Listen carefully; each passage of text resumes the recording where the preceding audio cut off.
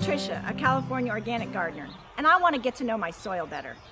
I figure if I don't know what the deficiencies are, I could waste money on amendments or I could put my garden at risk. To avoid that, I'm going to take a soil sample and send it away for testing. When the results come back, I'll know if I need to add some nitrogen for vegetative growth or perhaps some phosphorus for fruiting, flowering, and root development, potassium, or maybe calcium for sturdy cell walls and pH adjustment. Or maybe I'll find out that my soil is healthy just as it is. Take it from me, it's really important to take a good soil sample. And that starts with using a good tool.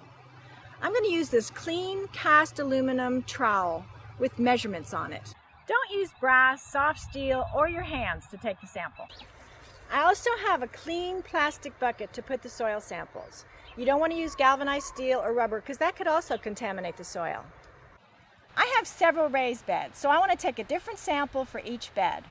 Last season, there were different crops growing in each bed, and so the soil nutrients were depleted a little bit differently. I'm going to take about 12 subsamples from each bed. That way I have a good composite of what the soil is like. Be sure and clear away any debris or leaves or any other organic matter from the surface of the soil.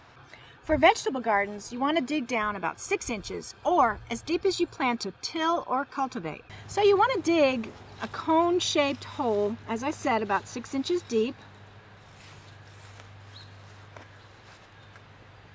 And then you want to scrape the sides of that hole to get the strata of the soil. You want to be sure and pick out any debris like roots or little stones or whatever before you put the soil in your bucket. Repeat this process in a zigzag pattern. If you're not growing in a raised bed, try to make the sample distances about 5 to 10 feet apart and avoid small areas of obviously different soil, like a manure pile or a path, because that can skew your results.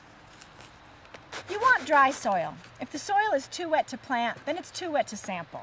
If your soil is wet, spread it out on a newspaper in a location with good airflow and out of the sun for a day or so before putting it in the bag so it doesn't mold. Never use heat to dry your soil. I'm going to take about a pound of it and put it in this little bag which is all ready to be sent off for testing. Most gardeners just need a basic soil test, which includes nitrogen, phosphorus, potassium, pH, and organic matter. However, if you're starting a new garden or if your soil's never been tested before, you can also get a micronutrients test. This tests for micronutrients such as zinc, copper, or manganese. So, in a couple of weeks, I'm going to get my test results along with an interpretive booklet, which will have some suggestions for organic fertilizers that correct deficiencies. So, get to know your soil and grow organic for life.